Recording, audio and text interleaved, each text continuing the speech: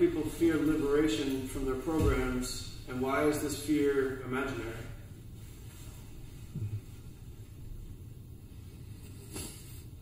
Well, because creatively speaking, you can imagine it doesn't exist, but who knows what they're experiencing is fear? Who knows what they're experiencing as fear that they themselves are creating and protecting themselves or hiding behind as a rule?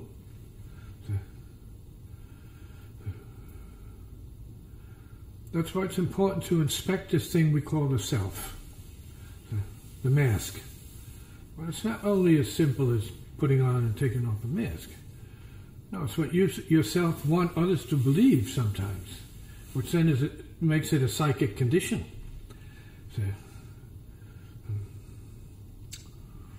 It could be a good psychic condition, especially if you've had a really bad self-image.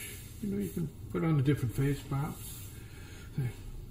But practice goes beyond the face and, and postures and self glorification programs. See, the look at me, aren't I great? Sort of, let's say, um, programs, mechanisms that you expect children to be working through themselves as they develop a sense of who they are as they're going through school. Mm-hmm. They don't know exactly who they are. They are whatever you think they are. Sometimes they're waiting for somebody to tell them who they are.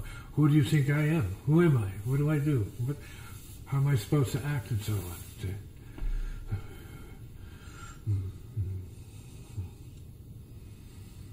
the fear is something to recognize is a contraction that is created. See, a reaction. See, it's a reaction. And it's generally a, a reaction uh, of fear, tightening up. And that means not knowing, not understanding, not being open enough to know. So when you you're confronted with your ignorance, that's fear, and that's also tightening up, and ignorance at the same time. So people have to be educated beyond their assumed education or cultural education to understand that when we get into the spiritual levels, firstly, there is nothing to fear but you, your fear. See? And what you need to do is open to the universe, and I don't mean a hostile environment. That's fear producing. See? But if you can find a comfortable place where you're not intimidated, where you're not being pummeled by uh, words and other people's emotions and so on, where, where you can feel your, your peace, your nature as peace. Then, in doing that, maybe you can relax and open to isness. It's possible. You can open to what they call uh, pure beingness, just beingness, breathing without reaction, calm breathing, healing, most importantly. See? So when people are confused, they're often, you know, frightened, fearful, concerned, reactive, neurotic, easily disturbed, right? protecting themselves, defending themselves, insecure. The gamut is lengthy. All the neuroses, all the psychoneurotic tendencies and programs that are typical human beings who had a uh, questionable upbringing without spiritual, let's say, um, peace without the conversation of being okay to begin with. Mm-hmm. And that's the beginning point. And so when you, you come around certain teachers, gurus, or whatever you want to call them, guides, you know, uh, what you need to be afraid of is the intense peace. uh, strong. Yeah.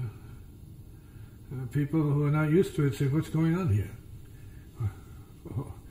why is it, why is it, why is it so quiet here? Yeah. Why isn't anybody talking here? Yeah. Mm-hmm.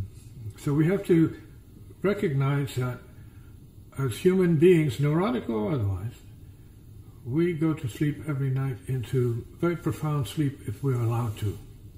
See, deep sleep, where there's absolutely nada, zero, pure comfort, pure absence, pure out of body, out of mind, out of self, out of thought, say, out of world consciousness.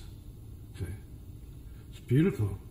Say, we're all designed that way. So you have to know yourself as as including profound peace and deep consciousness, or no consciousness.